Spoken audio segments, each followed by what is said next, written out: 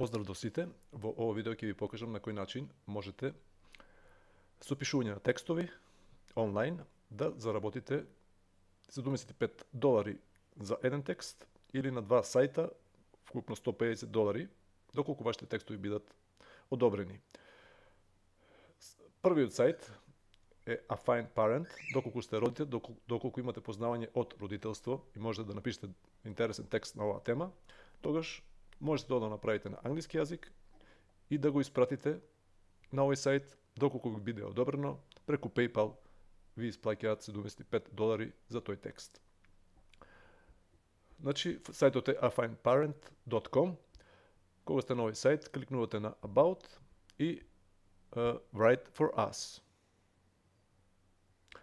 Овде имате објаснување што е тоа што се очекува од текстот, на кој начин да ги пишувате вашите текстови, тоа можете да го прочитате.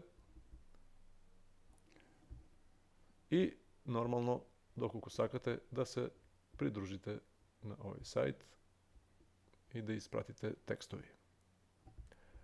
Следниот сајт е smashingmagazine.com.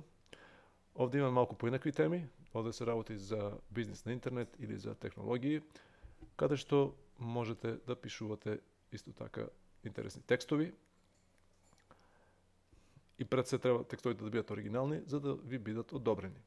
Кои видови на текстови да може да се напишат, тоа се туторијали, односно текстови во кои што имате одредена вештина или некое знање кои што кои што може да биде интересно за читателите на овој сајт, понатаму опинија некое мислење до кое што сте дошле преку некое размислување, истражување и така натаму, или е, упатство за одредена активност.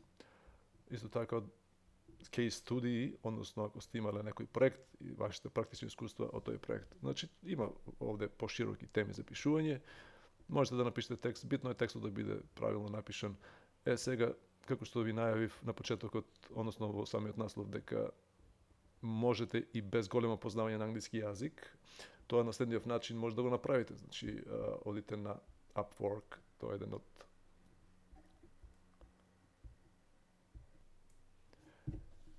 Тоа е еден од нај познатите фриленс сајтови на кои што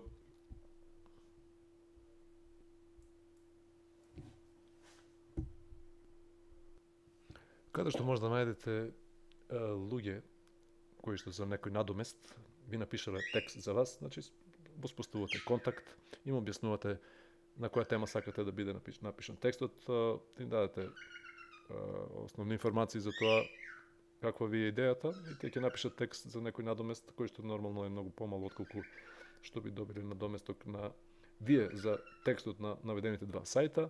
Значи тоа е еден начин да го реализирате ова без да имате големо познавање на англиски јазик. Нормално, доколку можете самите, уште подобро е да го напишете самите тој текст и да го испратите на еден или на двата од овие два сајта. Доколку ви се допадна видеото, кликнете на лайк, поделете со пријателите и направете subscribe на нашиот YouTube канал, зашто ќе има уште дополнителни интересни видеоклипови во врска со работењето за работката преку интернет. До следното видео ве поздравувам.